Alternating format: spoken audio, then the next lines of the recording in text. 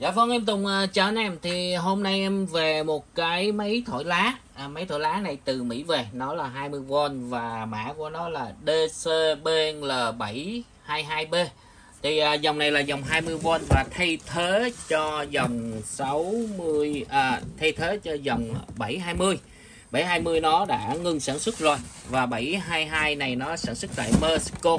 À, anh em quan tâm liên hệ 0962 232 180 và nghiêng một cái combo này bao gồm có một máy một pin 5A và một sạc. Giá của nó là 5 triệu rưỡi. Và những anh em nào đã có pin rồi và sạc rồi thì mình mua cái thân máy với giá của nó là 3 triệu rưỡi. Ok em sẽ à, gửi đến anh em xem. À, đây là nghiêng đai nghiêng kiện từ Mỹ về. À, nó có một máy một pin và một sạc. À, cái ống thổi thì nó có cái ống thổi tiên này ra đây thì hàng Việt Nam họ không có đâu nha anh em rồi và hàng này nó sản xuất tại Mexico.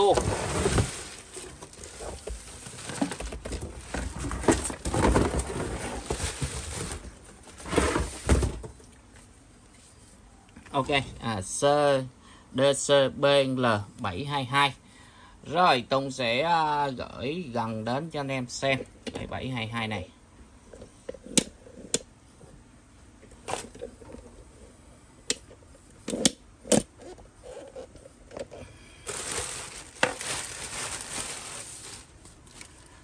Đây là nó là thuộc à, họ tiễn. À, nó xịt à, nó thổi bụi họ tiễn nha anh em. Đây à, nó là 722 và make in Mexico. Cái màu vàng Mexico rất là đẹp ha. À, UL Mỹ.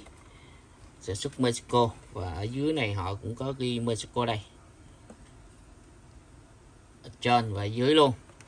Rồi em này là 722 thì cái ờ, công suất gió nó đây mình gửi đến anh em xem. Thẳng cái công suất kỹ thuật ở đây anh em xem rõ luôn.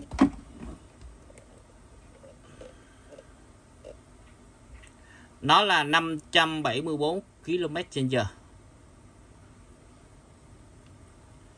Đó, à, tốc độ thổi trực tiếp là 201 km ha. Rồi nó nặng 2 kg tư. Rất rất mạnh ha anh em ha à, cái này ở ở bên Mỹ thì thường là thổi ở sông vườn à, thổi ở sông vườn các kiểu thì à, à, thổi à, cái cỏ. Họ họ cái cỏ ở sông vườn họ thổi.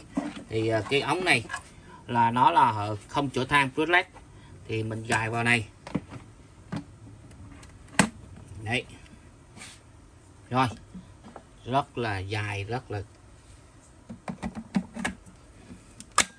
đây nha anh em rồi cái này mình cứ thử bịt lại nè. Bịt lại để cho nó nó ra nó nhẹ hơn. Đây nó đi tốt hơn. Rồi à, Tùng à, test cho anh em xem. Đây cái ống này sạc cũng đi luôn ha. Nó cực kỳ êm ái luôn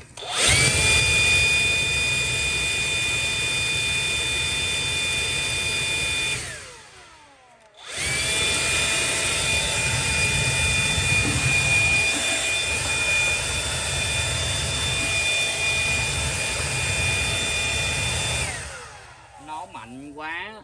Thành ra nó muốn chạy lùi luôn anh em nó thổi tốc độ mạnh quá nó, nó muốn lùi luôn.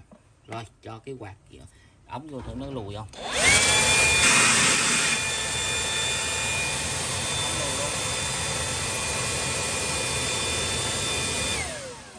Ok. Bay cái giường pháo luôn